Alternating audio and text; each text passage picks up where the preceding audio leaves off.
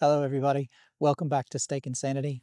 I have no idea what day it is. I think it's 131 or 132, something like that. As you can see, I've moved outdoors.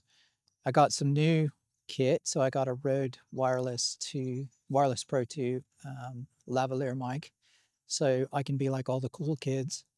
And um, so I'm outside and the weather started to get nicer in the UK. This is really the first day that I've had a chance to even get outside where it was warm enough and and I thought it looked nice enough. So just thought I would do an update from out here today instead of in my in my office at home. Um, the one thing that I wanted to talk about today is obviously in my last couple of videos I've talked about maybe changing my diet, doing more of a ketovore kind of thing. Um, but what I found is is that adding stuff back into my diet has absolutely ripped my stomach and my digestion apart. I think that it takes a few days. So, from my observation and, and the observation of some other people that I've seen, uh, Vegetable Police is one. He talks about this quite often. Um, but what happens is, is if if you're on strict diet, on on carnivore diet, fairly strict, and you have sort of one cheat meal, you can your body can kind of tolerate that. So it will it'll go, oh, okay, we've got this thing, but we're just going to push it through and just kind of ignore it, and just you'll just continue on. But if even if you have very small amounts and increase your intake of different things consistently over a few days, I think that's when all of the bad bacteria and all this stuff starts to happen in your gut again. And I've felt terrible. I felt ill. Um, I've felt like like I've had constant sort of gas and that sort of thing for several days. And the only thing I'm doing different is I've changed my diet a little bit. So I'm going back to, to stricter carnivore and see if that sorts it out. And if it does, then that, you know, that'll pretty much be that. And then I'll have to just maintain on strict carnivore almost whether I want to or not. And um, so, anyway, that's fun. The training got back in the gym today, obviously, because I'd had a little bit of carbs every day, a little bit more than I'm used to. Um, I felt amazing, had a great run, felt really strong. I did take yesterday off because I felt absolutely horrendous so bad that I laid down on the floor in my office for a few minutes and I just I couldn't even I thought I was going to have to go home and, and maybe even be sick. I felt terrible.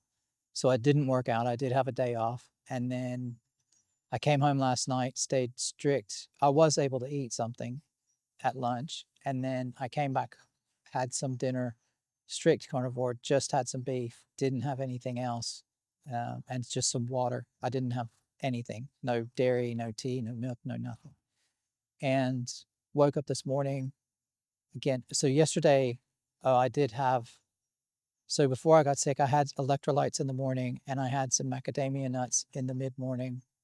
And after I had those two things, that's when I started to feel terrible. But I don't think it was related to them individually. I think it was just because I'd had a few things that weren't on the diet over the past few days. And I think it was that few days building up that really is what made the difference. So, anyway, went back to the diet this morning, had, um, I had water this morning. I took my vitamins and everything, just very, very cautious.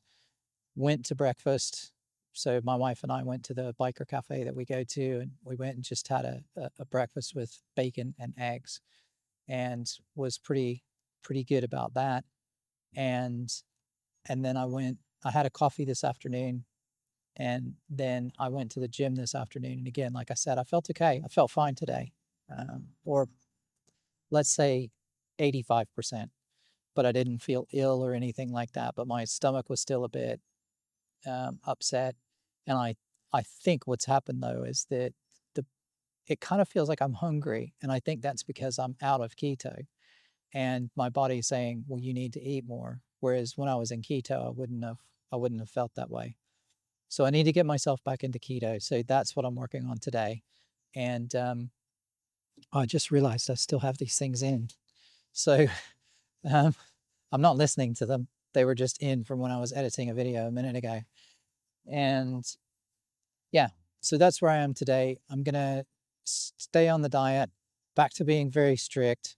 I've got big event coming up. I wanted to, I did want to actually lose a bit of weight before the event. So I thought I'm going to go super strict on the diet, see if I can lose maybe just a couple pounds so I'll feel better about myself and see what happens.